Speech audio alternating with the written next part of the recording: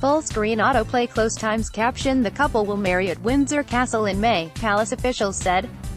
March 23, 2018 Meghan Markle shelters under an umbrella after visiting the Crown Bar in Belfast. Darren Staples, Reuters by photo Wait one second to